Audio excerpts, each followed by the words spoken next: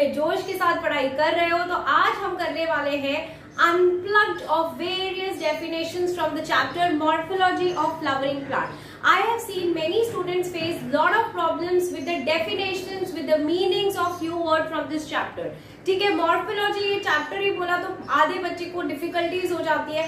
That अरे यार इसमें बहुत एग्जाम्पल्स है इसमें बहुत सारे डेफिनेशन है बहुत सारे वर्ड्स है to understand so example series one I have already put down जिसमें मैंने रूट्स के सारे एग्जाम्पल्स डाल दिए हैं। एंड अभी आपको आगे के भी एग्जाम्पल्स मिल जाएँगे that is on stems leaves and flowers So today what we are going to do, we are going to unplug all the important definitions or all the important words on this chapter.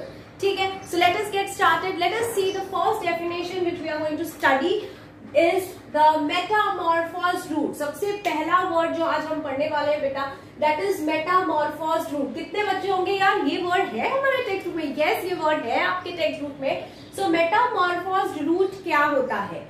When roots have to perform some special type of function, in addition to or instead of their normal function, they develop structural changes. देखो roots का normal काम क्या होता है? Roots का normal काम होता है absorption of water and minerals right but उसके अलावा when they perform certain function like storage हो गया सपोर्ट हो गया राइट right? तो उसको हम बोलते हैं, वैसे टाइप ऑफ़ रूट्स को हम बोलते हैं मेटामॉर्फोस रूट फॉर एग्ज़ाम्पल जैसे कि आपका प्रॉप रूट होता है। प्रॉप रूट क्या होता है बेटा? प्रॉप रूट में ऐसा एक्सटर्नल सपोर्ट रहता है। ओके देन आ गए आपके storage roots right so these storage roots are also the roots performing different function other than the absorption and minerals right they are storing the food inside them so such kind of roots are called as metamorphosed root let us come to the second one आपने सुना होगा that there are two types of growth the first one is sympodial growth and the second one is monopodial growth ठीक है? तो पहला क्या है बेटा? पहला है sympodial growth and the second one is monopodial so let us see the differences between the two तो terminal bud ceases to grow and lateral branches grow देखो, यहाँ पर क्या होगा? यहाँ पर जो प्लांट का जो टर्मिनल बर्ड होगा, ये वाला रीजन ऊपर का जो रीजन होगा दिस विल सीज मतलब यहाँ पर ग्रोथ नहीं होगी एंड लैटरली ग्रोथ होगी. So the lateral branches will grow तो that is called as sympodial sympodial means terminal bud जो ऊपर का बर्ड है it will cease to grow मतलब it will stop to grow and the lateral branches will grow next comes your monopodial growth monopodial उल्टा. So terminal bud मतलब ये जो ऊपर का बर्ड है it will start growing I put an arrow like this इसमें हम ऐसा एरो डाल सकते हैं. Okay here we can represent it is like this मतलब लैटरल ब्रांचेस की ग्रोथ हो रही है. और यहाँ पर ऊपर के रीजन में there is a growth so terminal part continues to grow as a central leader shoot and lateral branches remain subordinate तो लैटरली जो होता है वो ग्रोथ नहीं होती है as compared to the growth which takes place on the terminal ठीक है? So here I have also written the examples so example in sympodial growth is ginger turmeric and canna and monopoidal में it is nymphia, nilambo and terrace. So, you can be asked in an mcq are the uh, plants which show monopoidal growth except ठीक है या फिर आपको match the column में भी पूछ सकते हैं मोनोपॉइडल सिम्पॉइडल और may be the two more option and side में आपको ये एग्जाम्पल्स भी दिया जा सकता है let us come to the next one that is dichotomous dichotomous का मतलब क्या होता है it is a branching pattern where apical bud get modified into tendril and further growth is carried out by axillary bud मतलब यहाँ पर क्या होगा? जो अपाइकल बड ऊपर का बड जो होगा it will get modified into tendril okay ये देखो, ऐसे टेंड्रिल बन जाएगा। ठीक है? ऊपर ऐसे टेंड्रिल बन जाएगा। और जो बची हुई ग्रोथ होगी वो यहाँ से through your axillary bud axillary पता है आपको? साइड में जो लैटरल बर्ड्स होते हैं, वहाँ से ग्रोथ होगी। ऊपर का जो ग्रो ऊपर का जो बर्ड होगा it will change into another structure which is called as tendril and here the example is Vitis quadrangularis. Is the the example? Vitis quadrangularis. Okay. Let us come to the next one. That is phyllotaxy. Very, very, very commonly asked in your NEET exams, in your boards exam. बहुत ही ज़्यादा important है. ठीक है. Phyllotaxy क्या होता है? Phyllotaxy is arrangement of leaves on the stem and branches in a specific manner. आपने बहुत सारे झाड़ देखे होंगे आपने देखा होगा कि झाड़ों में जो leaves का पैटर्न होता है ओके okay, वो हर झाड़ का अलग होता है हर प्लांट का अलग होता है. That is called as phyllotaxy for example I show you the diagram जैसे कि यहाँ पर if you see the leaves can you see the leaves are alternate बेटा? Can you see that the leaves are alternate so this is the arrangement of leaves on the stem ठीक है which is in the alternate pattern and if you see this diagram ये देखो. यहाँ पे the leaves are present upon the opposite fashion ठीक है? तो इसको बेटा हम बोलते हैं फाइलोटैक्सी इसको क्या बोलते हैं हम? फाइलोटैक्सी सो लीव्स कौन से पैटर्न में अरेंज है? On the stem that is called as phyllotaxy phyllotaxy के भी बहुत ज़्यादा टाइप्स होते हैं। आप टेक्स्ट बुक रीड करोगे तो आपको पता चलेगा। And soon I be coming up with that videos also ठीक है? Here I have taken all the important terms देखो फाइलोटैक्सी के टाइप्स टर्म्स में नहीं आएँगे। फ्लावर के टाइप जैसे कि सेसाइल फ्लावर्स हो गया जाइगोमॉर्फिक फ्लावर्स हो गया, ये सब हम कभी नेक्स्ट वीडियो में पढ़ेंगे, जहाँ पर हम फ्लावर्स पढ़ेंगे, ठीक है? अब आ जाते हैं हम लोग inflorescence what is inflorescence a specialized axis or branch over which flowers are produced or born in definite manner. See, inflorescence मतलब बहुत अच्छा वर्ड लगता है, inflorescence मतलब फ्लावर तो जो भी आपके एक्सिस पे ओके जहाँ भी एक्सिस पे आपका फ्लावर प्रोड्यूस होता है। फॉर एग्ज़ाम्पल यहाँ पे आपका फ्लावर प्रोड्यूस हुआ है ओके ये वाले एक्सिस पे आपका फ्लावर प्रोड्यूस हुआ है okay so it's a specialized axis तो ये जो एक्सेस होगी, उसको हम बोलेंगे कि it is a specialized axis या फिर वो ब्रांच है, जहाँ पर फ्लावर डेवलप हुआ है, उसको बोलते हैं हम inflorescence and what I have written here in a definite manner okay okay, मतलब यहाँ पर भी इनफ्लोरेसेंस के है दो टाइप ठीक है? Next comes to the flower what is flower it is a highly modified and condensed shoot meant for sexual reproduction so you all know that कि फ्लावर में there are male reproductive organ and female reproductive organ right stamen and carpel दोनों होते हैं। And दोनों इसलिए होते हैं to carry out the sexual reproduction so flower क्या है? वो एक हाईली मॉडिफाइड और कंडेंस छोटा सा भी शूट है which is meant for a sexual reproduction because it consist of sexual reproductive parts ठीक है? आ जाते हैं हम लोग नेक्स्ट वन पे that is gamosepalous what is gamosepalous ठीक है सेपिलिस का मतलब बहुत क्लियरली समझ गया है कि it is related to the sepals ठीक है? So your sepals are united तो यहाँ पर जो सेपल्स होगा, ये देखो। आई राइट वन सेकेंड तो ये जो सेपल्स होगा, इसके ऊपर बेटा आपका फ्लावर होगा, ठीक है? इसके ऊपर आपका फ्लावर होगा। तो ये जो सेपल्स होंगे ना बेटा, ये जो सेपल्स ये होंगे यूनाइटेड मतलब ये एक होंगे, आप अलग अलग नहीं कर सकते उसको। मतलब it can not be differentiated they will look like one so that is called as gamosepalous and the example over here comes down to be China rose ठीक है? Next comes your polysepalus. Poly, okay. So polysepalus again related to the sepals. So यहाँ पर poly मतलब बहुत सारा. तो यहाँ पर जो sepals होंगे they will be free. So the sepals would be something like this. Okay. So even the sepals would be free. Okay. So poly का याद रखो free है. Gamo का मतलब है united. ठीक है.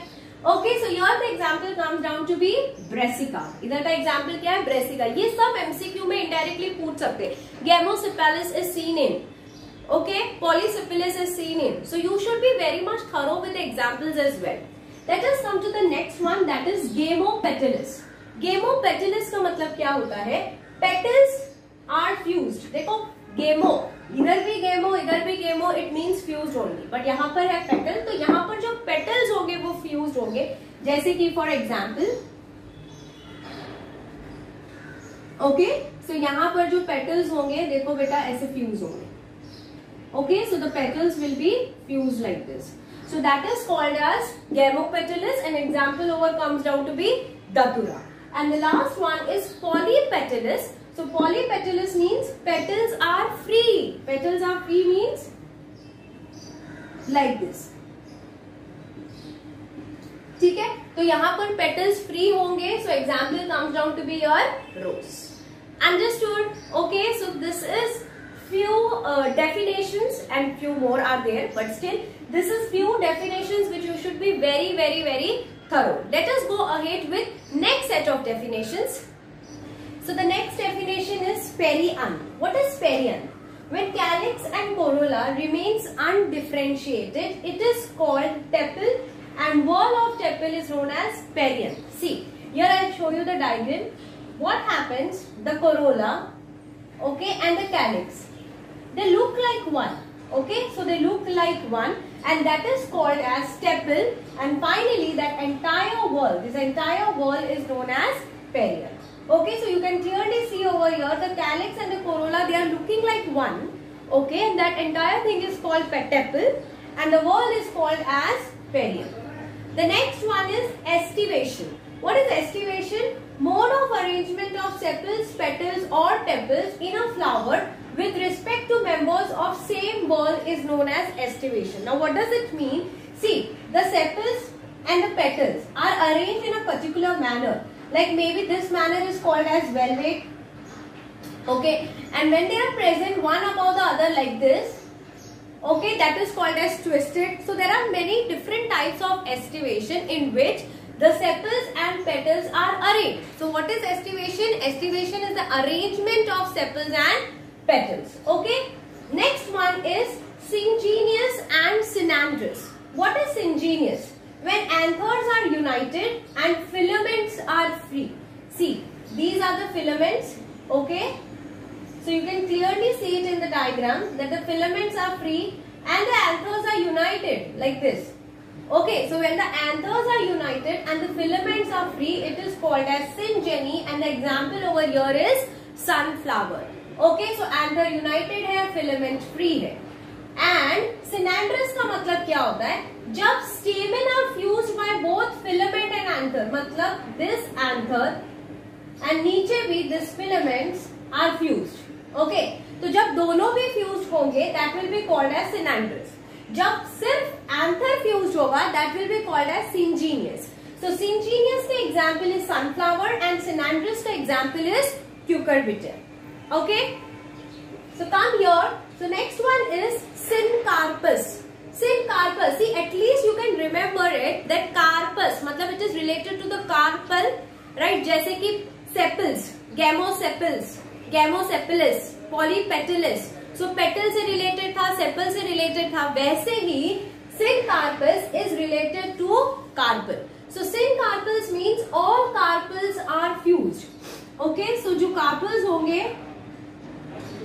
okay So this is the ovary. All the carpels will be fused like this. And epocarpus means epocarpus means all carpels will be like this. It will be free. Okay, so syncarpus, all carpels are few, carpels are fused and epocarpus all carpels are free. Next one is placentation. So let us see what is placentation. Mode of arrangement of ovules on the placenta within the ovary. See at least everybody must be knowing that ovaries have placenta as well as it has ovules. Right? These are the ovules. So ovules का arrangement in relation to the placenta is called as placentation. For example, if the ovules are present on the sides like this, तो इसको क्या बोलेंगे हम? We'll be calling it as parietal. Okay, we'll be calling it as terminal or parietal. and for example, if they are present like this, as in the case of peas, like this. इसको हम बोलेंगे margin ठीक है? तो placentation placentation के भी टाइप्स होते हैं तो व्हाट इज़ प्रेजेंटेशन ओव्यूल्स कैसा अरेंज है inside the ovary in relation to placenta let us come to the next few more definitions the first one is parthenocarpic fruit parthenocarpic fruits means fruits are produce from ovary without fertilization okay so यहाँ पर usually fruits कैसे produce होते हैं? Fruits produce होते हैं by sexual reproduction right but यहाँ पर without sexual reproduction जब फ्रूट्स प्रोड्यूस होते हैं तो उसे हम बोलते हैं parthenocarpic fruit so example over your are bananas and grapes ठीक है? So fruits are produce from ovary without fertilization now जो फ्रूट के दो टाइप्स है that is your true fruit which is called as eucarp and false fruit which is called as pseudocarp so true fruit है मतलब obviously it will be developing only from ovary ठीक है? Because that is a normal development of fruit तो example over your comes down to be mango and false fruit is a fruit which develop from any other floral part ठीक है? मतलब ये ओवरी से develop नहीं होगा, ये कोई दूसरे पार्ट से डेवलप होगा. And that will be called that your example over your is So, here it ends. All the terminologies related to morphology of flowering plants. इसमें से कुछ टाइप्स थे जो मैंने कवर अप नहीं किए हैं लाइक प्लेसेंटेशन के टाइप्स एस्टिवेशन के टाइप्स फ्लावर के type because that will be covering up in our lectures ठीक है? जब हम मॉर्फोलॉजी के लेक्चर्स पढ़ेंगे तो हम कवर अप करेंगे। तो ये कुछ टर्मिनोलॉजीज थी जो आपको आनी चाहिए for your NEET exams for your MCQs and for board exam So here I would like to take a leave and I'll meet you soon with the next video. Till then, bye, take care. And अगर आपने मेरे channel को subscribe नहीं किया है तो आप उसे सब्सक्राइब करो। जितना हो सके अपने स्कूल कॉलेजेस क्लासेस के फ्रेंड्स के साथ शेयर करो। Try to try please try that the channel grows up very fast thank you everybody bye